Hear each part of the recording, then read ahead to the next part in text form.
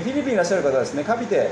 にいらっしゃるということでカビテは、まあ、マニラの、えーと、マニラメトロマニラの下の方ですねちょっと、えー、ちょっと下の方ですけども、えー、おすすめのレストランどこでしょうかと、まあ、おすすめのカフェとかレストランですね、まあ、カビテもですねいろいろあるんですけども、まあ、あの僕も一緒にですねあの何度かですねアテンドというかあの付き添いで、えー、何人かの方と一緒にカビテに行ってるんですけども、まあ、日本人がある程度ですねえーと、工場があったりとかっていうこともありますので、えーとおえー、美味しい和食のレストランもあったりします、まあ、あの有名なのはあの、まあ、チェーン店なんですけど一本槍っていうのは、まあ、おすすめのレストランとして和食がまあそこそこ美味しいですね、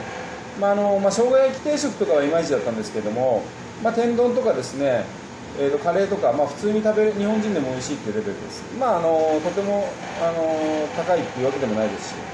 まあ、そこそこかなと、まあ、カフェもですねいろいろ細かいのあのおすすめありますのでよかったら LINE の方で連絡いただければなと思います。